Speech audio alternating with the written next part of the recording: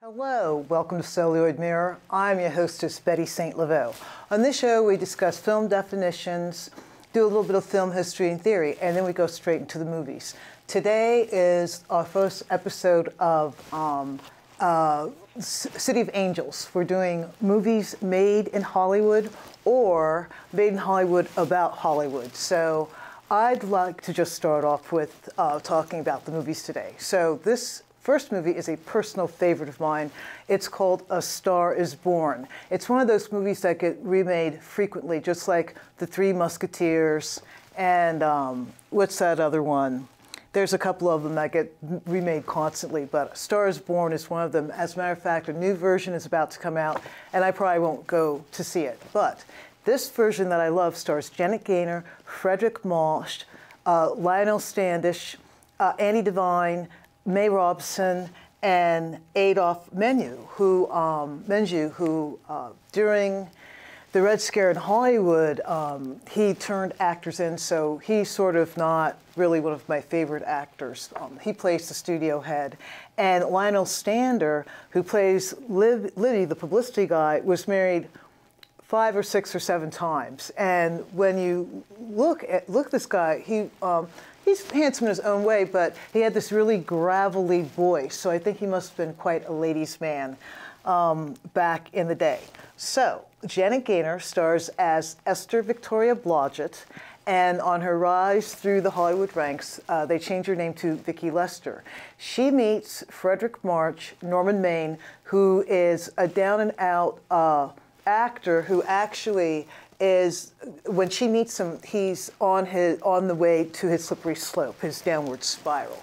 So this is a beautiful, dreamy, tragic story all about Hollywood and the snake pit that it is. So whenever I used to say to my mom, I'm going to LA, she'd be like, oh, I don't know. Our plans to make movies here. So then I would say to her, what about Stars Born? And she told me a better mousetrap had never been made. So movies like this, when you feel sentimental about them, you start to thinking, wow, anyone could make it in Hollywood. When Esther arrives in Hollywood, she basically has a one in a million chance of making it, all right? Literally one in a million. But uh, she happens to meet Norman Maine at a party, and he does a screen test with her. After a while, they're in a first movie together, and of course they fall in love. So Dorothy Parker and Robert Carson and another writer, I didn't write his name down, are credited with writing the script. But Dorothy would say she couldn't really remember what she contributed to it, which I thought was really honest of her. Um, it was directed by William Wellman. It was up for seven Oscars and only won one, and that was by Mr. Wellman for Best Story. Um, so, um, part of uh, part of Esther's motivation and her ambition to be somebody is the fact that she's starstruck. She looks at movies whenever she can, and she's grown up in North Dakota, and she knows that there's more to the world that's out there, which is uh, one of the reasons why I find that, sure, there are a lot of Hollywood movie stars that are from New Jersey. Uh, Tom Cruise is one of them. But a lot of them come out of the Midwest, like Greg Kinnear and Brad Pitt.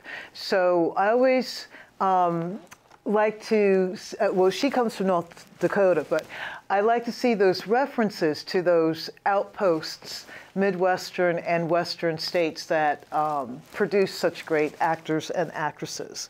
Now, um, part of the humor behind this movie is that the prices. So when upon Esther's arrival to Hollywood, she rents a room. It's $6 a week and it says no cowboys. Now, $6 a week, and right underneath the listing for her room, there is an apartment for something like um, I think, $23 a month. So I, I love that part of when you see an old movie and, you know, they say, fill it up, and the gas attendant goes, uh, the guy goes, how much is it? The gas attendant goes, 50 cents, man. Okay, for filling up the tank.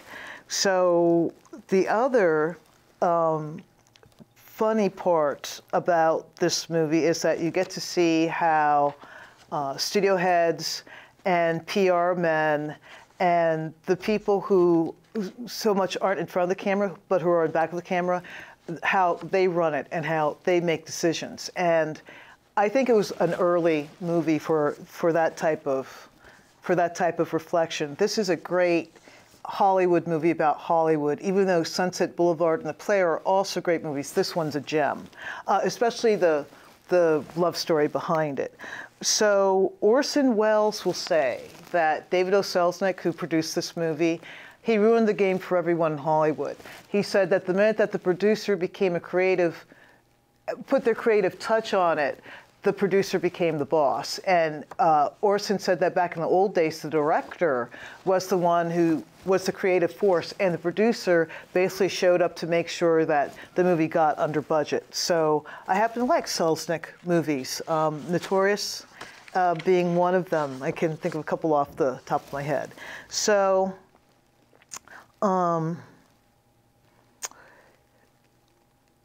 Frank Nugent, a critic who gave an early review for this movie said Hollywood has no need to go to Ruritania when it has lots of stories in its backyard. And this is part one of two of my City of Angels episodes, and I find that very true. I find that when Hollywood tells stories about itself, it's never a dull moment. Um, so, this story of the up and coming star going up in the world while her husband goes down has some parallels in real life. And some people say that uh, this story is based on um, uh, Barbara Stanwyck and Frank Fay's relationship, Colleen Moore and John McCormick's relationship, and a producer named Tom Forman. Also, um, in my book Flesh and, Fa- Flesh and Fantasy, uh, it say that Ruby Keeler and Al Jolson's love story was also possibly based on this movie. Now, there's an interesting Hollywood myth that Lana Turner was an extra on the set. For the last two weeks here at Orca, the crew has been so helpful with me. I kept forgetting my Lana Turner notes. I want to do a story about, talk about Lana as a prelude to City of Angels because Lana is a sterling startling example of the pitfalls and traps of Hollywood. But I have a feeling like her ghost just didn't want me to talk about some of the scandals in her life. So uh, I, we we taped we taped one a couple weeks ago, and um, uh, it didn't pick up. And then the last time we taped it, I kept forgetting my notes. You know, I walked all the way home, just forgot my notes. So I like the fact that Lana is supposedly an extra in the 1937 uh, uh, version of Stars Born. She always said, no, she was not an extra. Uh, she was discovered months after the movie came out. So this movie cost something like a mil. It said it cost over a million to make, but there was a profit of uh, $181,000, which I thought was odd because it didn't seem like it was much of a profit. Um, it was filmed October to December in 1936. Can you think of any movie in the last two years that was made in two months, okay? F- filmed from October December 1936, uh, came out, uh, the LA uh, premiere at Grauman's was April 20th, 1937, and it did well at the box office. A lot of people like this movie. There's nothing not to like about it, and the fact that Janet Gaynor is consi- uh, consistently described as cute, pretty, intelligent, strong, it's kind of nice because she doesn't look like Ava, Lana, or Rita, but she has a certain charm that I think works well in this movie. So check that out, and you can catch it on YouTube. Okay, so now we're going to head to 1980s LA. And this movie is not about Hollywood per se. But it's definitely an LA movie, and it's called To Live and Die in LA. It has William Dafoe, Walter, William S. Petersen, John Pankow, John Turturro, Robert Downey Sr., um, and a couple other people I can't recall off the top of my head. So this is a William Friedkin movie. He's our director who did um, uh, French Connection. Okay, he was one of the maverick filmmakers that got to Hollywood in the 70s. Uh, one critic uh, described this as his comeback movie. William Friedkin never went anywhere, and a lot of directors go highs and lows, but uh, I don't view this as a comeback movie. I just view it as another one that he knocked out of the park. So uh, basically, it's it's a story about how the line between the outlaw and the law gets blurred. I love that type of um, I love that type of plot. So William Dafoe plays this guy named Rick Masters. So he's an artist, which is an excuse for the really horrific bad soundtrack by Wang Chung. Okay, if you can get through the soundtrack, you can get through anything. Okay, so he's an artist, but he's also a counterfeiter, and he's a really bad dude. Okay, he's a really, really bad dude. And he um, kills William S. Petersen's partner who was about to retire in three days. Now, I watched this movie years ago with my grandmother. We had a really good time um, just checking it out because movies like this weren't really made. They're not really made. They weren't really made a lot back then, and they might be made now. So it's a template. But back then, this was rather cutting edge. Also, uh, a great quote in the movie The Player. Two writers are pitching a movie, and they say to Griffin Dunne, "No stars," and Griffin goes, "What?" And then the the guys go, no stars, just talent. Okay, so this movie literally didn't have any stars. Um, William S. Petersen, um, I think he's from uh, Nebraska, but he was Canadian actor. And Friedkin gave him a couple pages, and he had the part within just reading a page and a half of it. He, uh, William uh, Petersen, suggested his friend John Pankow, who was a Chicago um, theater person. And I also think that Mr. Dafoe was too, even though he did stuff in New York City. So I guess this was everyone's big breakout, including John Turturro, who I'm on the fence about because he's not my type of he's just not my type of actor. I sometimes I don't even feel like he's acting, but because his cousin Ada, who is so brilliant that she literally I mean, you can't tell when she's acting. You think she's really the person. So I'm kind of thinking that Mr. Turturro, when he goes into a role, he's doing the same thing, but I don't know. Um, Robert Downey Sr., who is Bob Jr.'s dad, um, directed the iconoclastic Putney Swope back in the 70s. You need to check that out. And he occasionally shows up in movies. So it was great to see him as William S. Pearson and John Pankow's uh, boss. Now, um, partly, you know, I'm watching with my grandmother and, you know, checking out the end of it and the beginning, there are parts of the movie that are confusing because Friedkin and the man who wrote the novel, who's a former Secret Service man, um, Gerald Petievich. Gerald Petievich uh, I think, wrote the book and they collaborated on the script together. So sometimes there's more Friedkin in the script, and sometimes there's Mr. Petievich. Mr. Petievich actually got into trouble uh, where he was working with the Secret Service. Someone, um, they didn't want to give him a promotion. There was jealousy because he was making a movie. I mean, just ridiculous stuff. Uh, okay, Secret Service, Secret Service, but this is Hollywood, okay? So, so the plot can be a little uneven. You gotta gotta follow it. When the, it's the beginning of the movie, and there's the retirement party for William's uh, then partner there. The partner is seen going off on his own to stake out uh, William Dafoe's counterfeiting, um, uh, what do you call it, domain there, compound.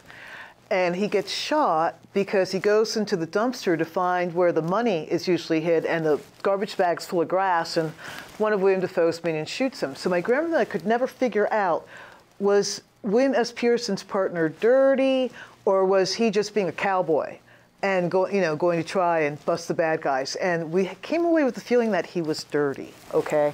So the movie's about good and bad, but it's also about blurring the distinction between bad. So as uh, Mr. Pearson's character there, uh, Rick Chance, is going through the motions. The guy is a bungee jumper. He's a base jumper. He lives for thrills. All he wants to do is catch the guy who, that, who shot his buddy, right? So he gets into trouble frequently th- through the movie. He flouts authority. There's this crazy car chase that is one of the best car chases I've ever seen. And I started thinking about French Connection. Actually, Mr. Friedkin had thought of the car chase back in 1963. He was driving home from a wedding or going to a wedding, and he fell asleep, and he found himself in the wrong lane with oncoming traffic, so he backed up. Or he was really lucky, almost killed himself so we got to thinking, how can I use that in a movie? So we see that in the movie. We see that idea of a backup car scene. They had to film in all types of crazy ways. It took six weeks to six weeks to shoot, and um, I like it. I really I like the scene a lot. There's also a foot chase scene where uh, S. Pearson is running after John Turturro in the airport. S. Pearson's doing his own stunts. They got in trouble with airport security because airport security thought that Pearson was going to like break his butt on the floor. Okay, so they pretended to just uh, they pretended to acquiesce to the airport officials' demands, pretend to run it through as rehearsal, but they actually had the camera going.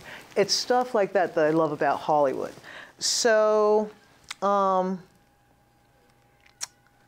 we haven't really talked much about uh, um, William Dafoe's character, but that's because he's just a really bad guy. I mean, he's scary, all right? He's one of my top 50 villain, movie villains of all time. The Joker, of course, is number one, right? But uh, I don't know where uh, Rick Master fits in, but he fits in like top 25 or something like that. Um, so the line, the, differences between them, or the similarities are, both Petersen and Dafoe's characters are killers, but one has a license to do it, and the other one just does it because he's a psychopath. Um, and it came out. It was the premiere was November first, 1985. Um, it had a 3.6 million dollar opening for, that weekend, which is not bad back in the 80s. It ended up grossing 17.3 million in North America, and then an additional six million dollars somewhere else. So that was pretty good. It made a profit. Um, I'm not going to blow the ending today, but the studio did not like the ending. Friedkin had to he had to film two he had to film another ending because the studio heads were hollering. So I was reading one critic saying, um, uh, to live and die in LA, uh, he said something about to live and die in LA is okay, but not unless you want a studio head to kill you because he doesn't like the ending of the movie, something like that. So this is a great, um, great action flick, uh, cops and robbers. Y'all aren't going to like the music. Sorry, the music's really blaring, and there's lots of like greens and reds, you know, because it's the 80s. Um, you know, it's Reagan time. All right, everyone had a dollar in their pocket back then. Um, so if you can deal with the music that's going to sound dated, you're going to love this flick. And William S. Pearson looks awesome. I mean, I think he he. he he, he, he's sexy to me anyway, but to see him whipcord thin like that running around, it's really cool. He looked really, really cool. Okay, so um, check that one out. The last movie we're going to do today is um, the penultimate to me, Hollywood movie. Some say Sunset Boulevard is, and for certain reasons, Sunset Boulevard is the penultimate Hollywood movie, but this one takes the cake. As with um, our Stars Born movie, they started the movie off uh, a medium shot of a screenplay, and they're describing the opening sequence. The movie The Player uh, starts off as if they're filming the movie, see the clacka, and they go uh, take one, or it's like take eleven, scene four, something like that. So. Um, the Player is Robert Altman's best movie in the whole world. Uh, it has everyone. He usually uses an ensemble cast when he does his flicks. So in this particular movie, uh, you see, and did I write everyone's names down? Okay, so you see Vincent D'Onofrio, Sydney Pollack, Dinah Merrill, um, Tim Robbins, uh, Harry Belafonte, Shari Belafonte, Jack Lemmon. This is a movie about Hollywood people, and it's about Hollywood people making a Hollywood movie.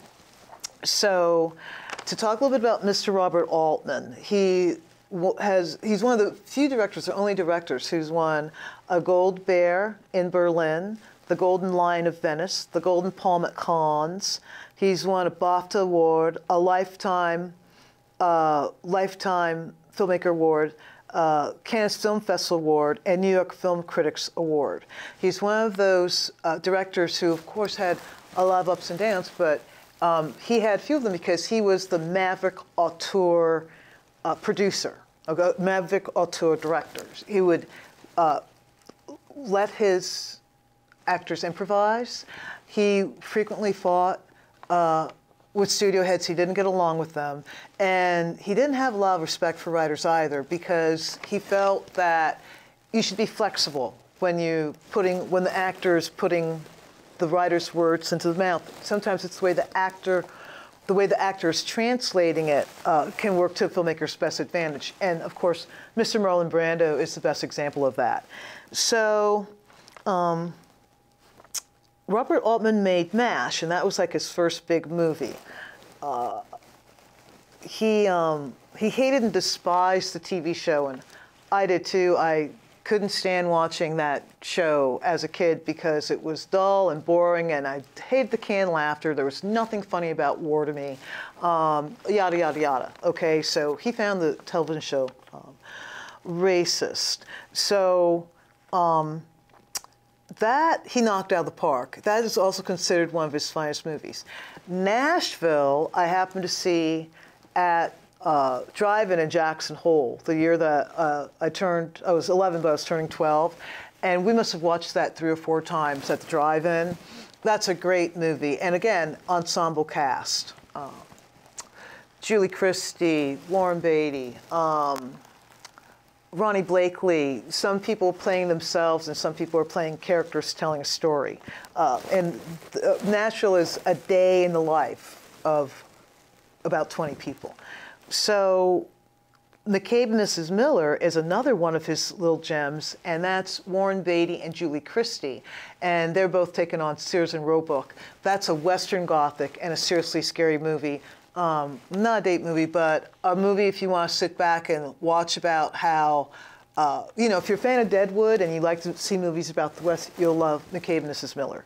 So one of the last, oh, and then there's Three Women, which is this crazy story that I can't remember. And then one of his last movies that he made was Kansas City, which has Harry Belafonte, um, uh, uh, Mulroney, Jennifer Jason Leigh, and a whole bunch of other people, and that's set in Kansas City in the 30s, and it mainly uh, deals with uh, the politics of the Democratic Party. All right. So all these movies that I just said, Nashville, MASH, McCabe Miss Miller, Three Women, Kansas City, please check that out. But the one that is my favorite is the one that we're about to talk about. So the, a player is a term for someone who's a hungry studio executive who is probably wanting to be a studio head.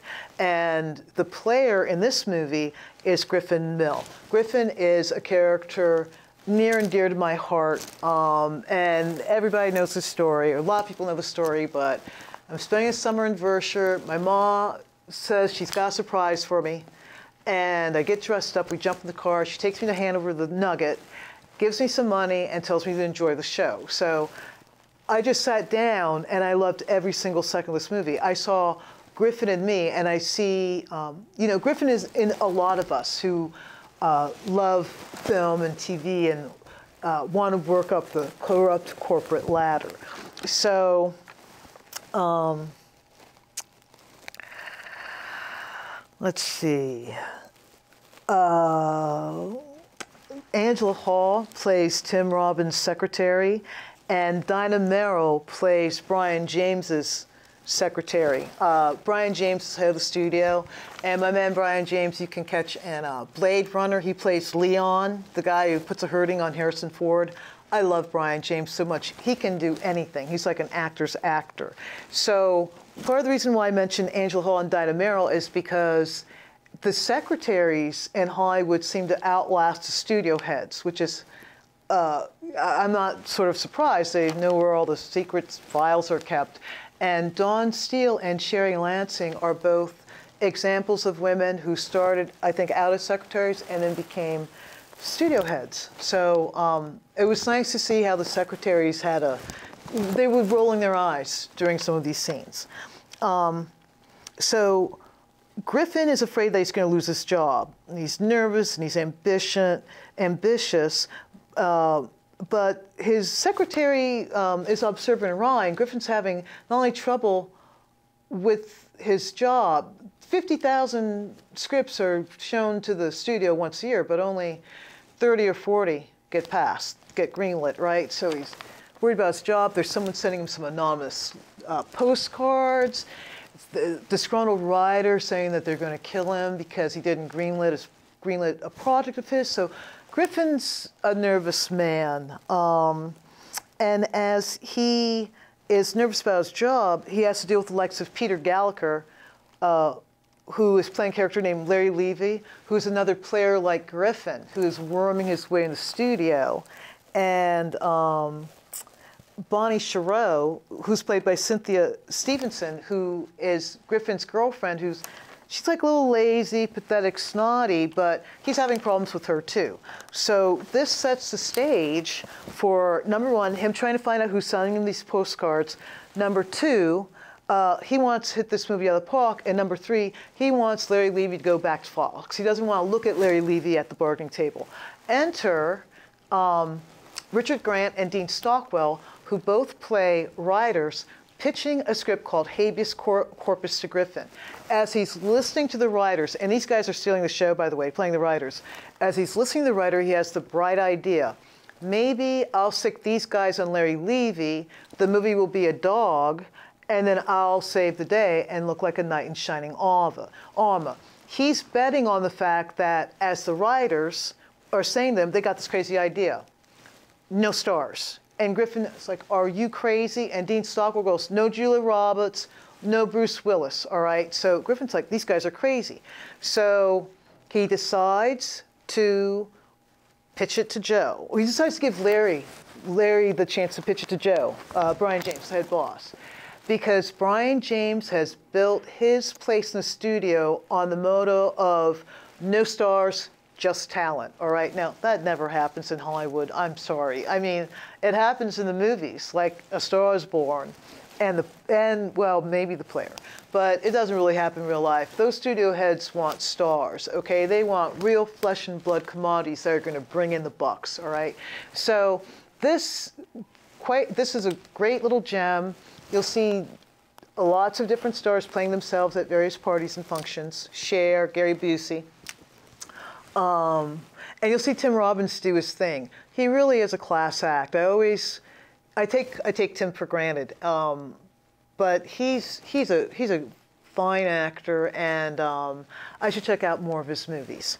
So, let me see. Um, uh, yeah, aside from the people you'll see, uh, you will see Bruce Willis and you will see Julia Roberts, but Buck Henry, Susan Sarandon, Lily Tomlin, uh, James Coburn, John Cusack, Angela Huston, Jeff Goldblum, Jack Lemmon on piano, Scott Glenn, Peter Falk, um, Karen Black, and I think Robert Carradine. So it's it's a great gem, and the movies about Hollywood and about Hollywood people are some of the best movies made. That's just about it for me. I'm your hostess, Betty St. Laveau. I'd like to thank our crew here at Orca for uh, helping me out with the cameras today. I'd also like to thank Gendron Building for its continual support and my first film uh, professor Sharon Ardella Warfield Ochesani Claridge, who taught me to appreciate and articulate my thoughts on the silver screen. Until next time, darlings, stay away from those bad movies. Ciao.